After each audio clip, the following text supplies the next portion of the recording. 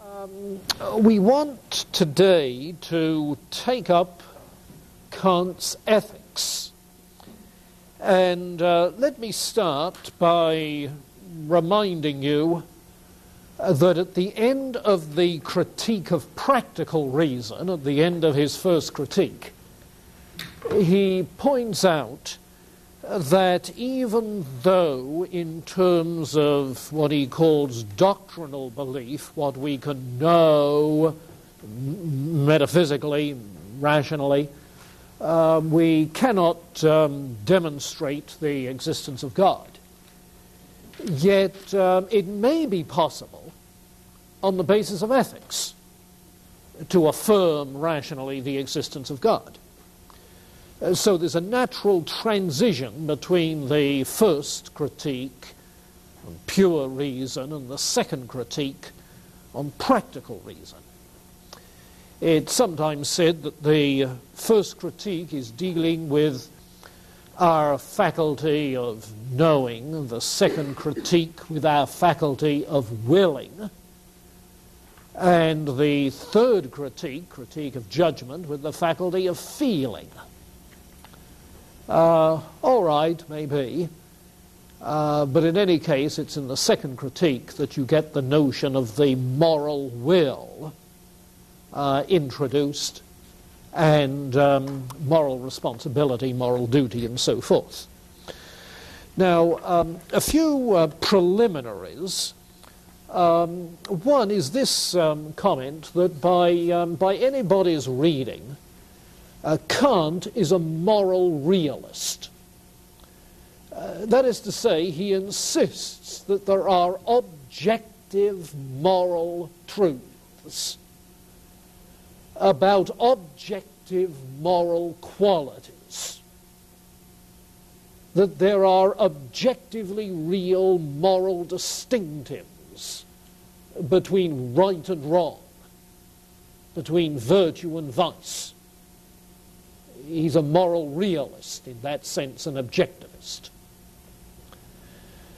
And uh, his famous categorical imperative, which we'll be looking at, uh, tells us um, how we can know that difference between right and wrong. Now, um, his moral realism is, however, very much in keeping with the concerns of others in the late 18th century. Um, there's a sense in which the 18th century could be described as an age of moral crisis.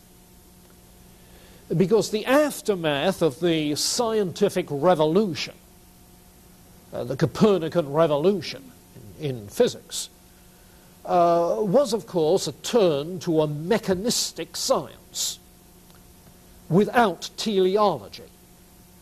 Therefore, without the conception of the good as an all inclusive ideal which everything in nature strives to imitate. Um, the result was that um, right after the scientific revolution and during it, there was a, a groping for some new way of addressing ethical questions. And we saw in Bacon, and it's true in Descartes as well, um, a kind of um, early version of utilitarianism. It's in terms of what works. Uh, there was a sophisticated development in Thomas Hobbes, whom the 18th century saw as an uh, unqualified hedonist, a thoroughgoing determinist, uh, without um, recognizing a shred of human goodwill, benevolence. Um, that was the 18th century reading of Hobbes. And when we were talking about him, I think I pointed out that it doesn't really come out that way. Um, there are notes of benevolence in his concern and so forth. Uh, the 18th century also called him a thoroughgoing atheist. And um, uh, that's not um, uh, the case clearly at all. But in any case, that reading of Hobbes precipitated uh, a great deal of concern among 18th century philosophers for providing some objective grounding of morals, a concern about moral realism, you see. Um, one of the uh, moves in that direction was the Cambridge Platonism, you remember. Uh, another, you might say, is John Locke's attempt to ground natural law, human law, in the rational nature of human beings. Uh, some reading I was doing just this morning, um, I um, discovered that uh, Locke was very close to the daughter of Ralph Cudworth, who was really the leading Cambridge Platonist. You see. And Locke's uh, rejection of innate ideas may well have been a rejection, as we mentioned before, of the Cambridge Platonism. But at the same time, he shared their concern for an objective grounding of ethics. Uh, the same was the concern of those moral sense philosophers. Uh, people like Butler, Adam Smith, Shaftesbury, Hutcheson, uh, that we noted more in passing than anything else. And um, that Shaftesbury was the son of um, a family where uh, Locke was hired as a tutor. So he was the tutor to the Shaftesbury who later developed moral sense philosophy.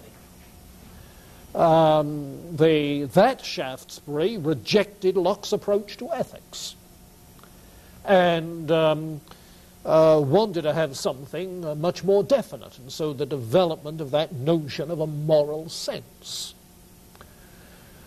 David Hume, um, it said, was very much influenced by the moral sense thinkers.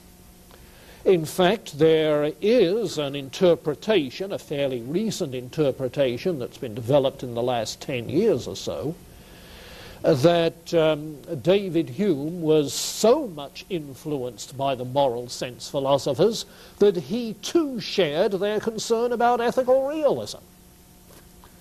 Now, uh, when we were talking about him, I suggested that he was an ethical subjectivist. Uh, that is to say, to say something is right or wrong is simply to refer to how people feel about it. Uh, but according to this um, newer interpretation, those moral feelings, moral sentiments, are simply signs by which we recognize what is objectively the way it is. Uh, the case uh, for that interpretation of Hume really hinges on some statements that Hume seems to make uh, about the difference between virtue and vice, which sound as if he's talking about objective qualities of individuals, of human beings. Uh, so that if virtue and vice are objective qualities, then there is an objective difference between those qualities, and you've got moral objectivity, at least in the, the status of the moral qualities. So, um, this matter of uh, moral realism was very much a concern of 18th century thinkers. Likewise, of Immanuel Kant, very much a moral realist uh, trying to avoid some of the possible ethical implications of that mechanistic science with its causal determinism, which of course would take away from individual moral responsibility, and its implicit subjectivist implications. So um, it's with that in mind, then, that, uh, that Kant writes about ethics. Now, his approach to ethics is remarkably like uh, his approach to metaphysics. There, in examining the faculty of knowing, what he looks for is the a priori structures the subjective structures that shape the way in which we think and understand as well as perceive things. In the critique of practical reason, he's again looking for the mental structures, the subjective structures or principles that we bring to our moral thinking. And again, the question is whether those structures of our thought are purely subjective, as was the case with the forms and categories, or whether they have any objective correlates. Uh, so that when it turns out that the subjective structure involves some sense of duty, of respect for moral law, the question is whether there is any objective moral law. You see. And while he concludes that the forms and categories used in science and metaphysics are purely subjective, it turns out that the categories used in ethics are objective. That is to say, there are objective correlates. There is such a thing as objective moral duty, as an objective difference between right and wrong, objective moral law. So he is, in those regards, a moral realist. Now, in order to, um, to see the, the way he, he does that, um, you have to recognize then that he is again uh, seeing the synthetic a priori nature of ethical judgments. So that the uh, ethical judgment then involves the confluence of two kinds of input. On the one hand, empirical input, and on the other hand, some a priori principle. so that when we say stealing is wrong, you get an empirical description of an act that is known as stealing and you get the concept of wrong or lack of rightness as the a priori principle. So that what you get then is the, um, the introduction of an a priori principle in our moral reflection, in our moral awareness, an a priori principle that is imply, applied to factual situations, applied to not implied in, but applied to factual situations. Um, and uh, this, uh, this um, a priori principle is, of course, the categorical imperative. Now, you have um, an initial selection about this in the anthology. The last little piece of Kant in the anthology, the last piece in the anthology, period. Um, and that is taken not from the critique of practical reason, but from his metaphysical foundations of morals. Some of you may have read that uh, material in your introductory course. And uh, recall that what he does is to start by saying that there is only one thing that is unconditionally good. Uh, that is to say, a good will. Goodwill. Um, uh, the focus is on intention, on motive, on character, the inner disposition of the individual. And it's only the goodness of that inner moral disposition uh, that can be regarded as good without qualification. After all, our natural inclinations uh, can be uh, twisted, diverted, perverted. Our desires may be self indulgent you see. Uh, so that our desire for happiness is not something that is in itself good and right.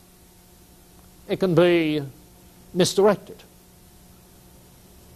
Um, so he makes a clear distinction between, on the one hand, inclinations, because inclinations are towards empirical objects. Okay? A clear distinction between inclinations on the one hand and the sense of duty on the other hand. The sense of duty is referring back to the a priori principle. The inclinations are looking forward to empirical satisfactions. And the moral quality is involved in the former. Um, he makes the distinction another way by um, talking about hypothetical imperatives as distinct from categorical imperatives. Well, you know the difference between a hypothetical proposition and a categorical proposition. A hypothetical one is iffy. If you want this, then do that. Would be a sort of a hypothetical moral um, syllogism. Um, if you want this, then do that. Uh, so that hypothetical imperatives are oriented to ends outcomes, consequences, uh, inclinations, desires. Okay? And they're not unqualifiedly good. On the other hand, um, categorical imperatives are not iffy at all. You see, uh, without qualification, categorical imperative tells you what's right. So while he starts by saying the, uh, the only unconditionally good thing is acting out of a sense of will, he, he develops that, that, that notion of uh, the, the completely unconditional imperative. Uh, uh, uh it's um, goodwill, yes, to act out of respect for duty, not just in accordance with duty. Kant's not saying, do your duty well, not saying just that, because he knows perfectly well that you can do your duty for the wrong reason. Like you can observe the speed limit because there's a cop car following. Uh, no moral virtue in that, you see. But doing one's duty out of respect for duty is the sort of thing that he's after. Uh, then he goes on to develop that uh, more fully um, going that far alone, he calls common sense morality. Because it is, in effect, the kind of common morality which many ordinary people in the street uh, would um, immediately um, describe. But he goes on to develop in his more philosophical way in trying to articulate his uh, categorical imperative, which um, he presents in three forms. One is um, often referred to as the universalizability principle. The second is referred to nowadays as um, the principle of respect for persons. and the third as the autonomy of the will, the autonomous will. Um, a word about each of these. Um, universalizability. Um, it, that you should always act according to uh, a maxim. A maxim is a moral rule according to a maxim that you, uh, you could will as universal moral law. Always act according to a maxim uh, that you could will as a universal moral law. And two interpretations of that have developed. One um, uh, would it be something which you could get enacted? And that is to say that all persons would recognize as morally binding. Universalizability. Uh, the other, more usual interpretation, uh, is that is it logically possible to will that? Now, something that's not logically possible to will would be a self contradiction. So, if you cannot logically will it to be a universal moral law, it's because it would turn out to be a self contradictory law, a self defeating thing. If, for instance, you're um, uh, trying to um, take a loan and promise to, um, with a promise to repay it by a certain date, uh, knowing and intending fully well not to repay it. Uh, you are in effect with no intention to keep the promise.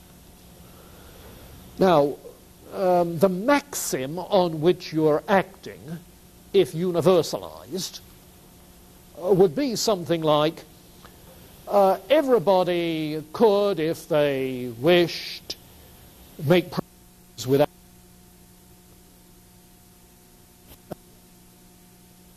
in two senses. One, you're really not making a promise. You're making a promise which is not a promise. Second, you are just the whole institution of promising by the universal law. There would be no such thing as promise. So it would be a victory. So the categorical imperative then stated in, in that way. Um, the problem with that formulation is that it provides a negative criterion telling you what you cannot do rather than a positive criterion a negative criterion rather than a positive criterion. Now, um, Kant, however, goes on to a second formulation that nowadays gets known as respect for persons. His way of putting it is that we should always, there's the universalizability carried over into this, we should always treat persons as ends in themselves rather than as means only. Never treat a person only as a means, always as an end. Now, he's not saying never treat persons as means. We do that all the time. You're using me right now to get some credit. And I'm using you to um, earn a living. Um, yeah, yeah, he's not saying uh, that's wrong. Uh, but he is saying that in the ways in which we use people, treat those people as of value in themselves. Why that? Well, because they're rational people with um, moral will as you. You. Uh, so it's, it's really universalizing what I ask for myself, that I be respected as a rational being, um, able to make moral decisions. Reversalizing that, it applies to you. Now, that uh, emphasis on respect for persons has been um, made a great deal of use of in, uh, for instance, contemporary medical ethics and business ethics. Um, it's been um, developed.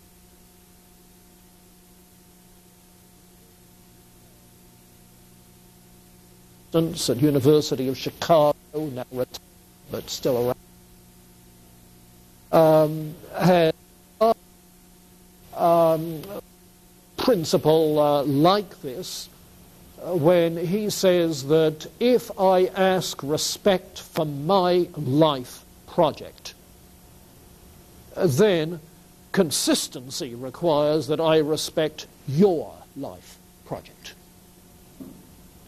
Why do I ask respect for mine? Because I'm a rational, self-determining being. You see. So he argues for a principle of generic consistency, as he calls it, the principle of generic consistency. PGC, it gets known.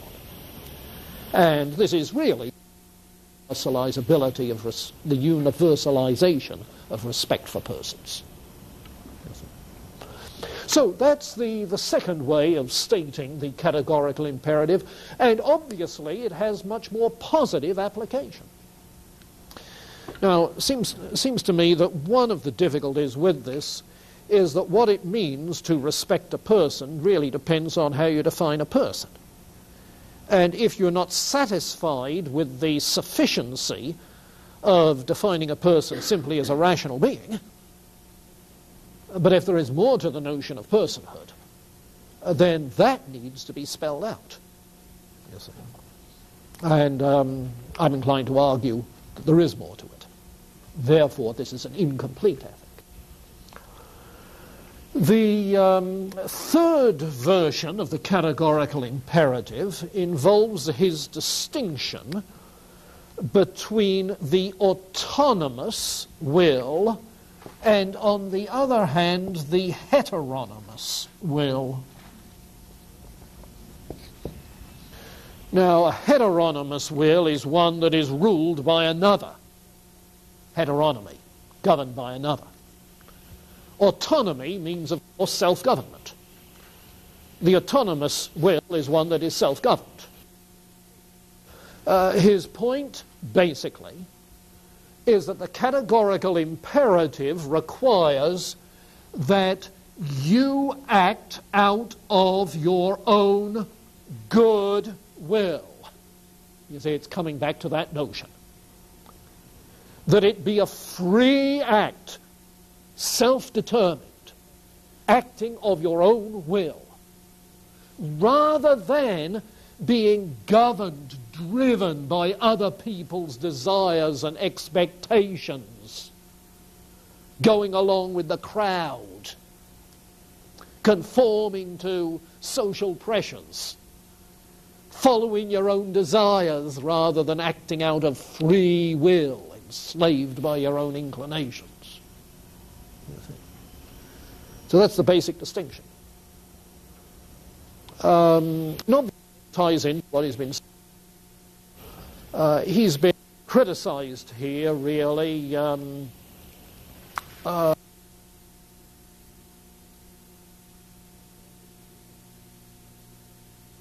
this uh, degree of autonomy um, acceptable. We should be governed. And so um, Robert Adams, for instance, who teaches at UCLA, um, introduces a third alternative that he calls the theonomous will. Uh, a will that is, oops, theon, a mus, yeah, a will that is um, governed by God, a theonomous will. Um, whether Kant um, really would allow that or intended it is a very good question.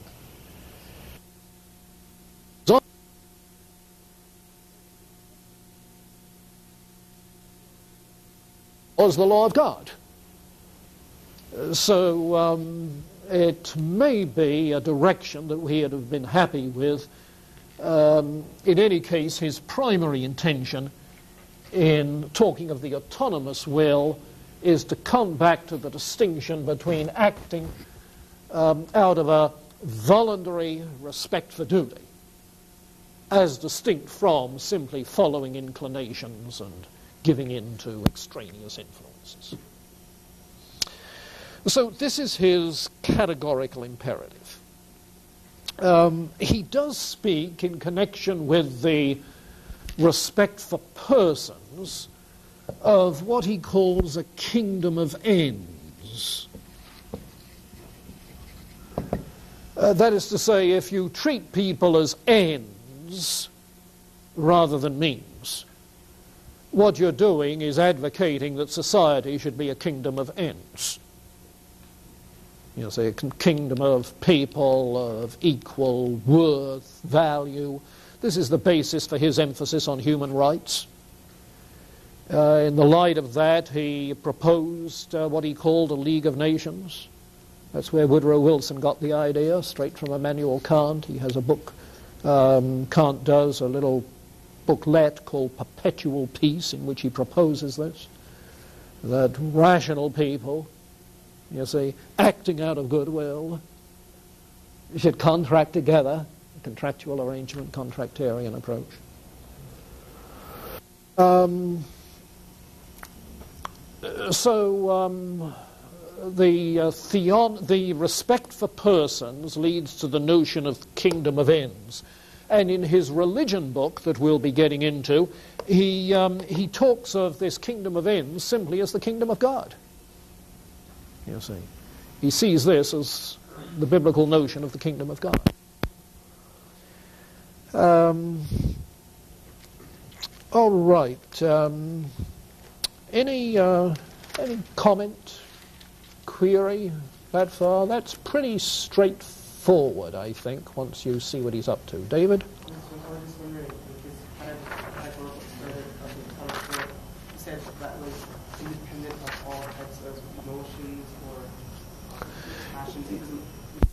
Yeah, um, he, he, you see, the, the only thing that is good without qualification is goodwill it follows that the only thing that is really morally worthy is an act done out of a sense of duty. Not doing your duty because somebody's standing behind you with um, an arrest warrant. Um, not your duty because um, uh, really you have an unthinking habit, you see. Um, and certainly not avoiding your duty by being um, lured away by uh, roommates who want to go out on the town for the night. Whatever. No, stick there and read Kant. but you wouldn't go for like, um, for example, a Christian praying to God, God, change my desires so that I would want to do your Oh, he'd be very happy if your desires were changed. You see. Uh, his point is that um, acting out of desire um, is something which um, is deterministic. Now, let me, let me go on to, to make that point. Um, what he is arguing here in his analysis of the moral self, okay, and the analysis of the moral experience, what he's arguing is that the will is free when it acts rationally out of a sense of duty, guided by reason out of a sense of duty. On the other hand, if um, the, the if the will, rather than um, no, if the individual is not acting out of that kind of goodwill, but is simply doing what it wants to do, it's functioning at the empirical level where the cause effect mechanisms of mechanistic science come into play. So, in simply doing what you want to do, eating without thought of um, um, whether this is what you ought to be eating, for instance. Um, uh, responding thoughtlessly and um, breaking off what's got to be done and just whooping it up. Um, what you're doing is acting more like an animal than a rational human being. You see. So he, he's trying to, um, to maintain that if you live at the sensual level, pursuing desires, inclinations, emotions, feelings only, you see, you're not free. You're not acting as a human being. While the desires may not be bad, The activities may not be bad. He's concerned about the moral quality of the person. The only thing that is good without qualification is goodwill. Yeah. Oh, you know, he's been criticized here. Sure, he was a Prussian. Um, I, I, don't know why that would be a criticism. But um, a lot of English writers talk about the Prussian in him. Um, he was a bachelor. Yeah, you know, the very disciplined bachelor. Uh, the neighbors set their clocks in the morning by the time when he walked down the street to the university. that sort of an individual. Um, um, underlying it, I think, is the, uh, the feeling that, and I suspect this underlies your question, David, um, uh, that there is something less than fully human about the notion of acting out of a sense of duty and ignoring desire. God given desire. Perhaps redemptively transformed desire. You think? Well, um, I, I think the thing to say in his defense is that he recognizes that we have a natural desire for happiness. He recognizes uh, that this is a God given desire for happiness. The problem is that in this life, those two don't come together. You see? Um, uh, there's too much um, going against us for them to come together um, both in us and outside us, uh, to automatically trust desires for happiness. Um, and that's what feeds into what you see coming later in terms of the corollaries. Okay. Pete?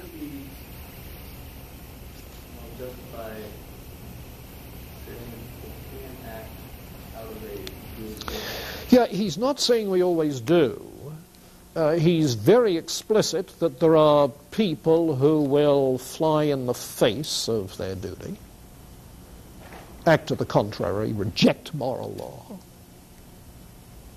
Um, he, he's trying to get into his thinking uh, something of what um, theology talks about in terms of depravity.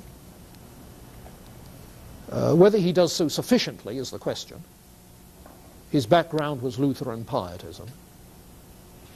And Kierkegaard is quite critical of him in this regard. Not for being a Lutheran pietist, I mean, but for, um, um, for what uh, Kierkegaard regards as a too optimistic view of human nature. Yeah. somebody else back there, yeah. Um, yeah, you see, that question implies that he's simply saying, do your duty. And so, what do you do if you have conflicting duties? But he's not just saying, do your duty. He's saying, act out of a sense of duty. So, his response to your question would be that in choosing between conflicting duties, you choose out of a sense of duty. You don't do the duty that you prefer to do. You say that you're more inclined to do. It's easier to do. You do the duty which, as a rational being, you decide it is your duty to do. Now, that does get him into some problems. Well, you decide in terms of respect for persons so that hypothetically he might say that if duty A conflicts with duty B and they're both um, duties to persons, which is more essential in respecting the person involved. In that way, I suppose he might argue in terms of lifeboat ethics. You know what I mean by lifeboat ethics? Extremities where there, only, where there are two people who can be lost and only one can be saved. Yeah, he is, in the sense, um, well, yeah, he's often taken to be, in the sense that he does not want to allow moral exceptions, exceptions to moral rules. In that sense, he's an absolutist about lying. You see. Uh, there are no such things as justifiable lies. Um, my initial reaction to your question was to pull out that um, favorite illustration um, about um, what would you do if you were in Amsterdam in 1942 and the Gestapo come knocking at the door looking for the Jewish girl you're hiding in your attic? You see, would you tell a lie? Or what would you do? No, I think, um, at least according to that reading of Kant, he would say, no, you must never tell a lie. You see.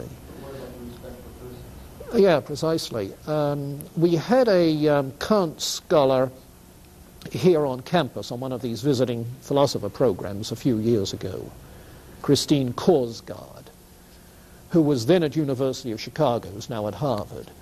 And she argued in one of her lectures that um, Kant was not an absolutist in that sense, that he would reconstruct the picture so that you're not lying. What you're doing is um, respecting persons and um, treating those uh, who have who violate persons in a way that um, keeps the truth from them, something of that sort. Um, I think the point is, yeah, you think that's a subtle one, huh?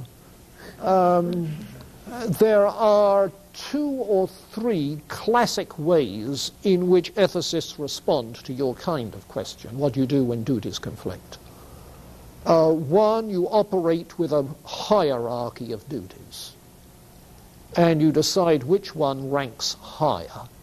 Now, that's what I was implying when I said which is more essential in respect for persons. You see. Uh, the other is to introduce rules to govern exceptions to moral rules. Put that another way, uh, you are qualifying the moral rule. So you mustn't lie is just a shorthand for a much longer moral rule with all sorts of qualifications, defining what you mean by a lie. Just as um, some Old Testament scholars say about the uh, commandment, thou shalt not kill, uh, that read in that context, there are all sorts of qualifications that are built into it. You just have to look in the context to see them. It's not a blanket rule, it's a qualified rule. So it, it's difficult to know exactly what Kant does. And, you know, that's how some Kant specialists um, earn their reputations, is arguing about how to interpret Kant that way. Esther? Knowing what your sense of duty is? No. Well, then you don't have to worry about knowing it. If you're acting out of a sense of duty, you must know you have a sense of duty. No, you mean how do you determine what is your duty? By the categorical imperative. That is the way in which you know what is your duty. Uh, would you be acting on a maxim that could be universalized? Would you be acting out of respect for persons? Would you be acting out of an autonomous will? It's the way you know. It's the way you decide. No, he doesn't give you a whole list of rules. Well, you don't want a rule book for ethics. You've got to make moral decisions in cases where there are no rules anyway. That's what medical ethics today and bioethics is about. You see? No, moral thinking is about how most basic moral principles affect our decisions. Or if we're trying to formulate moral rules we should follow, how do you formulate those moral rules? The answer is on the basis of the categorical imperative.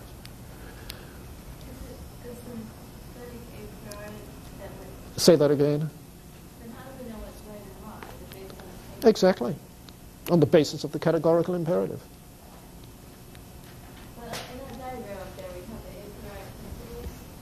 This here, The a priori principle is the categorical imperative. Uh, come at that one other way. Some of you have seen me um, talk this way before, but um, I find it helpful to distinguish between four levels of ethical discussion. A particular case, an area rule, a rule that applies to an area of moral responsibility, like a rule against lying um, overall principles, that is to say, principles that apply to every kind of area of responsibility, to the entire moral life. And then the basis on which those principles rest, which would be a theological basis or a philosophical basis of some sort, metaphysical basis. Okay?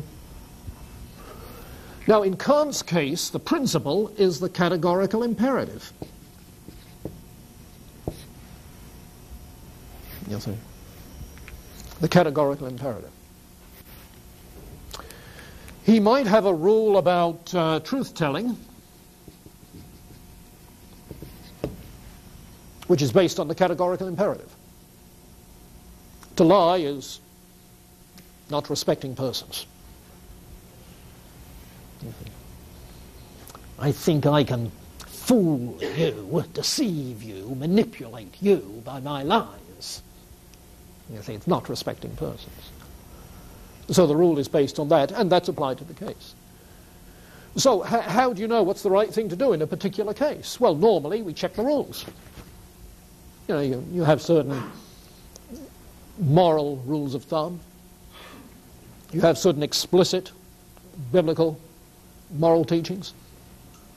There are certain societal moral standards, professional code of ethics, whatever it might be, you see. But when you're trying to formulate such rules, or try to handle conflicts between moral obligations at the rules level, you see, then you go back to um, what the overall principle demands.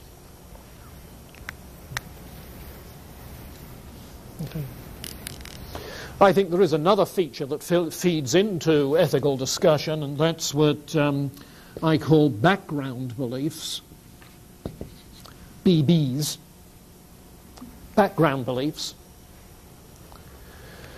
Uh, you know, if you're dealing with oh, questions in business ethics, uh, then your underlying belief about the meaning and purpose of work, of economic activity comes into play. Um, if you're dealing with matters of medical ethics, then your belief about um,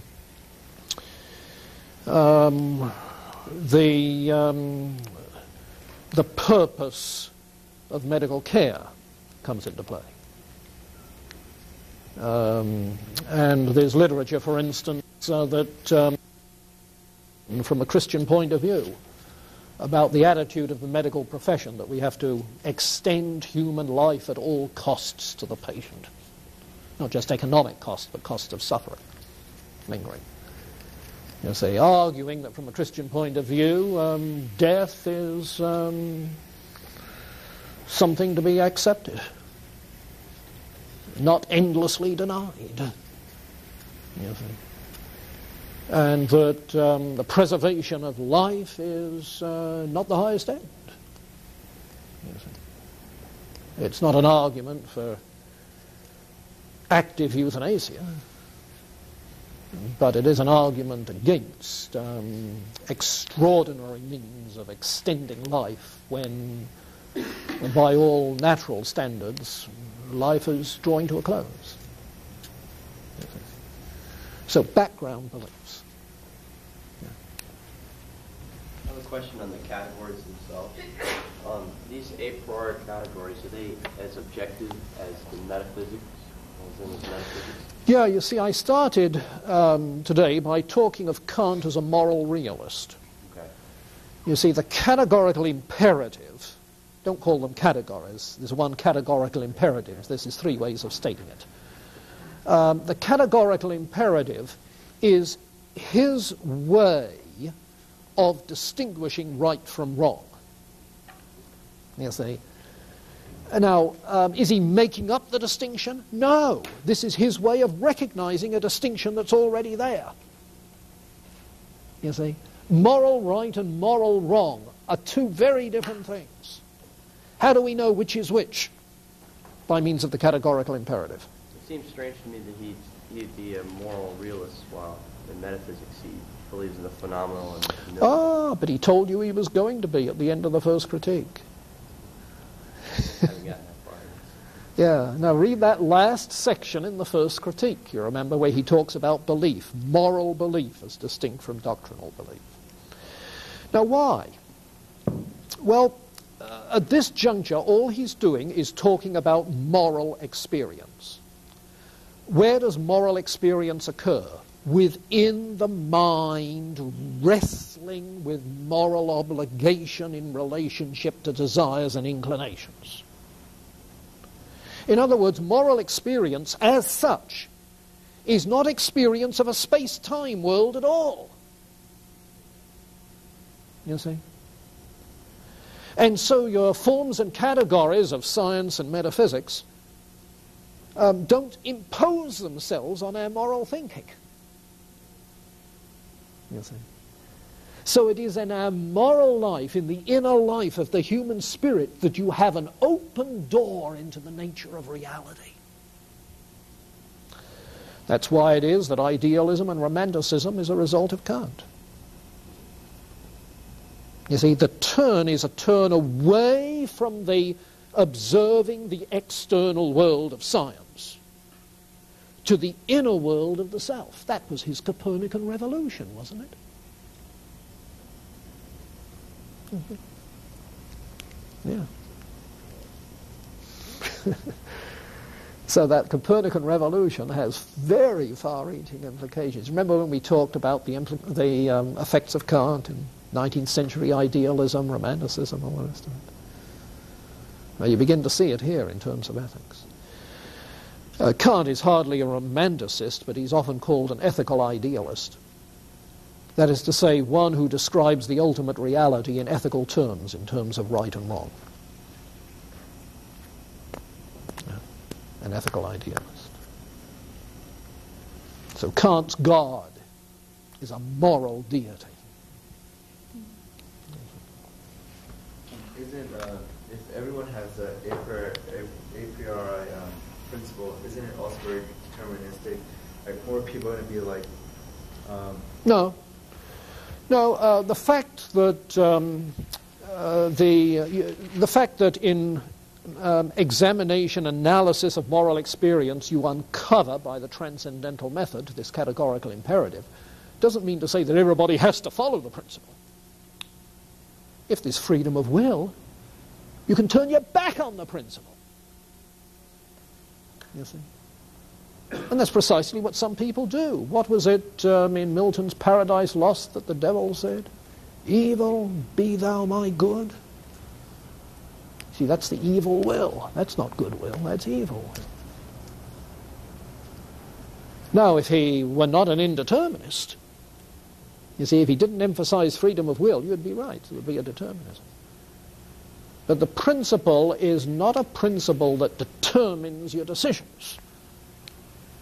The principle is a principle which reason can observe in guiding the will.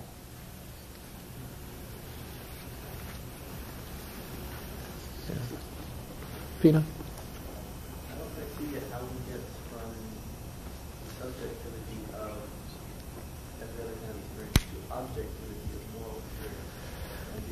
Yeah, well, hold the phone on that one, would you? Just a moment. So far, the, um, the only part of the response that we can have is um, that this kind of moral experience is independent of the forms and categories that apply to metaphysics. Okay, let's um, take, however, this, uh, this next step to the corollaries. And you can see already how he handles the question of freedom. Um, the freedom of the will is a corollary of moral duty. That is to say, if we say that morality consists of acting out of a sense of duty, then um, if morality is to make any sense, there must be the freedom to act out of a sense of duty, which means freedom of the will. So while he is not proving the freedom of the will, it is a corollary of his account of moral experience, of moral phenomenology. If he's right about this matter of duty, then it follows that we have freedom of will. Um, I call it a corollary. It's not a proof there. It seems to be implied in what's gone before. But he goes further than that. And if um, the first is sort of a logical corollary, the second are more postulates that we are led to in the light of the ethic, additional postulates. Uh, that is to say, the achievement of goodwill, the only thing that's intrinsically good, the achievement of goodwill in this life is never completed. You don't achieve moral perfection in this life. Moreover, there is that natural God given desire for happiness, which is never fully achieved in this life while pursuing duty in the face of one's desires. So, for both these reasons, there must be a continuation of this life in which your moral development continues and is rewarded with happiness. The immortality of the soul is a practical necessity.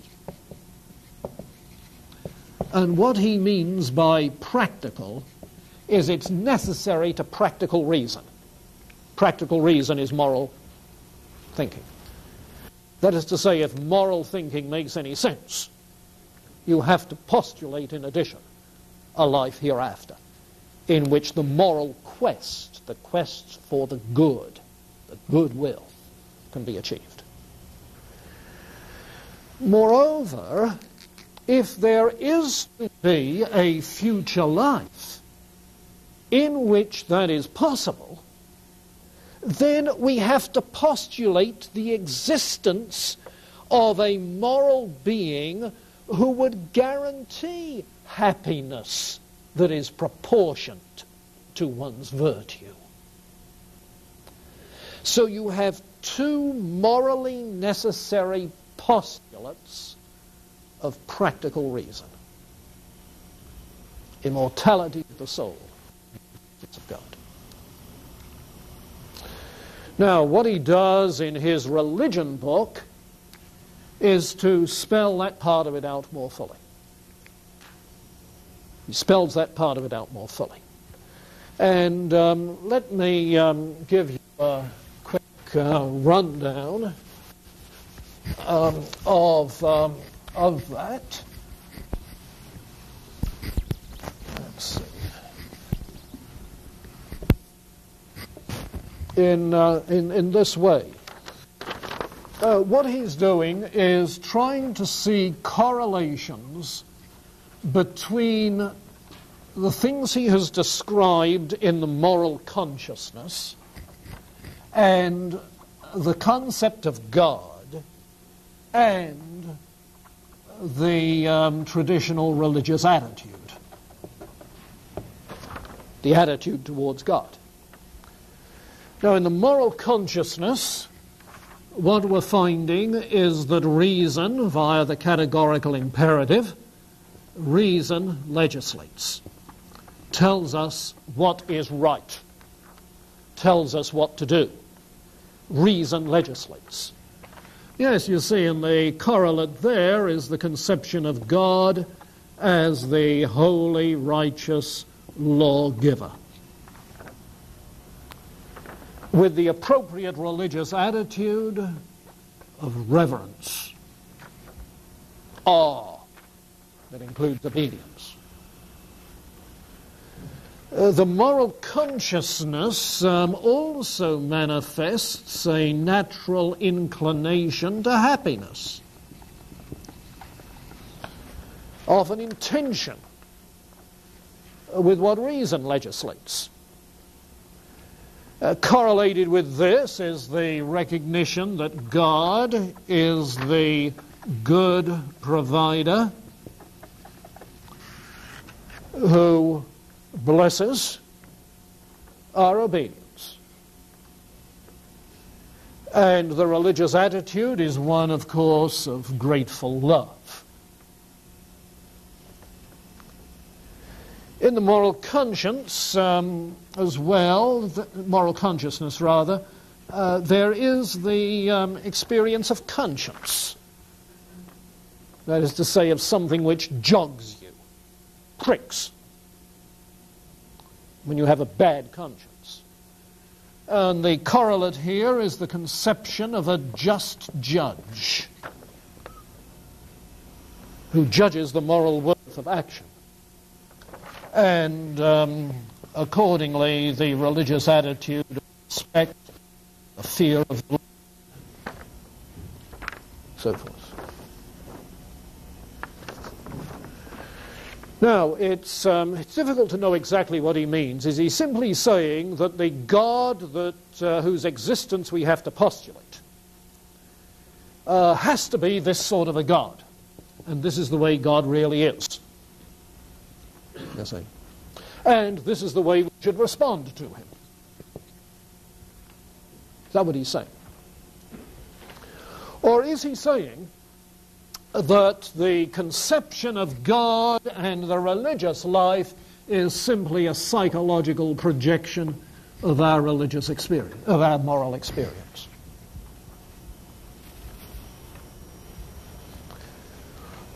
Now, the latter route, of course, is taken by the ethical humanist, naturalistic interpretations of religion. And the former interpretation, that this is the way God is, uh, the way that was taken by the um, more traditional religious approaches, um, with qualifications. And out of this approach to talking about God developed some of the early strains of 19th century liberal theology. Because if your theology is simply an extension of your ethics, then you have a new theological method which doesn't go as far as the biblical revelation. So one strain of 19th century liberal theology emerged out of Kant's thinking at this juncture. Incidentally, Kant uh, vowed in um, uh, letters that he that he wrote Christian um, accused of doing so, you see, and was forbidden to teach or to publish. In defense, he um, defended himself. Now, for a man who said that lying is always wrong, it would be hard to think when he said that. but um, the debate goes on.